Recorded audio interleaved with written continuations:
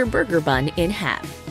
Place the cooked beef patties on the burger bun. Add another patty. Add another patty. Add another patty. Add another patty. Add butter. Add cheese. Add cheese. Add cheese. Add cheese. Add another patty. Add another patty. Add more patties. Add butter. Add cheese. Add cheese. Add cheese. Add cheese. Add more patty. Add more patty. Add butter. Add cheese. Add cheese. Add cheese. Add another patty. Another patty. Another patty. Add butter. Add cheese. Add cheese. Add another patty. Patty. Add butter. Cheese. Cheese. Cheese. Add another patty. Add butter. Cheese. Cheese. Cheese. Add another patty. Add another patty. Add Another patty. Add another patty. Add butter. Cheese. Cheese. Cheese. Cheese. Cheese. Cheese. Add add add add add